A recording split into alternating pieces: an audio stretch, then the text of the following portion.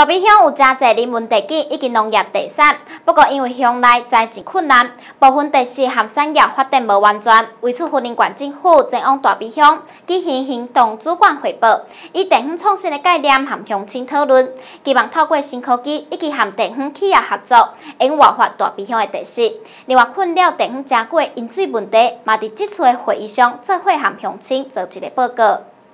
大鼻乡有真侪人文地景以及农业特产，不过一直欠缺行销的机会。为此，福林县政府即摆就前往大鼻乡举行行动主管汇报，以地方创新的概念来向乡亲做讨论。其实咱这个地大鼻乡的地方创新来讲的时阵吼，咱拢会互相来结合，包括结合地方的一寡企业，哦，新阳也好啦，良作也好，台也好，希望讲动作的物件，因为有科技的带动之下，哦，企业有法都来做一个好的管理。另外一方面，咱大鼻乡的地方创新，嘛希望来营造一个较好的人文的环境。那也把整体的产业发展哈，透过地方创生哦，啊如何结合啊，将地方哈的这个啊问题来改善了哈，甚至能够带动地方哈，创造就业机会。针对困扰地方真贵饮水问题，县政府杂志目前为止已经投入将近六亿的经费做建设和整治，同时也伫地方设置自助洪灾社区，减轻灾害所带来的损失。大批这几年在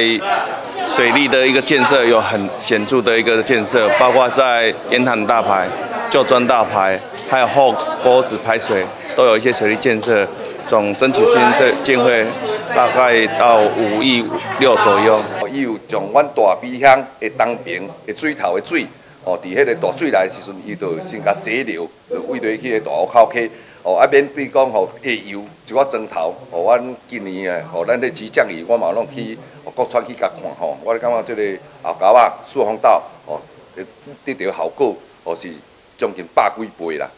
在城乡管理问题，关政委也表示将会积极向中央来争取，希望由中央和地方做配合，除了会当做创新，最主要希望会当吸引少年人回乡。那我想大皮乡啊，这几年来，尤其这十年来，我们都看到啊，人口是负成长的哈，尤其是已经负成长哈，高达十五趴以上哦。那怎么样哈，让我们的长者前辈可以在这里有一个非常适当的一个长照的服务了哈？那再加上怎么样让我们的青年能够愿意留在地方哈，来增加啊地。方的这些啊啊生育率啊哈，那我想这也是解决哈人口减少、人口老化的问题。